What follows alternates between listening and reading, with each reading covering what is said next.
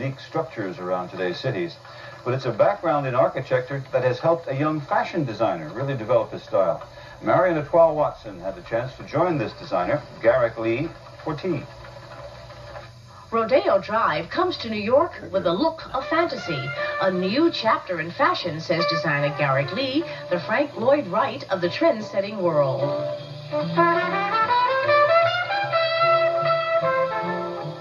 Judy Nell Pickens is all about high tea at her Little Nell's on East 85th Street.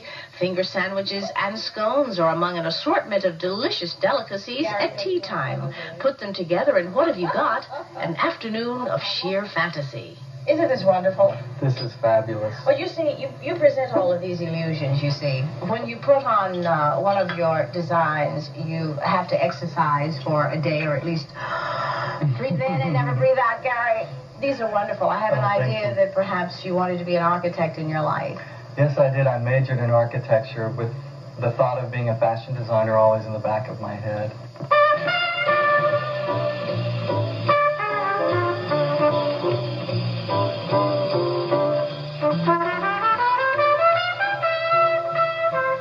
I design for the woman who is very sure of herself and doesn't mind being seen and likes to make a statement.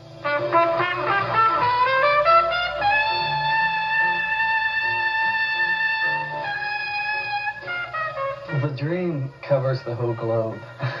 so I find that I'm having a very good reception in New York after being in Los Angeles for two and a half years in the Beverly Hills area. I, I believe New York is really more of a city for couture high fashion than even Los Angeles.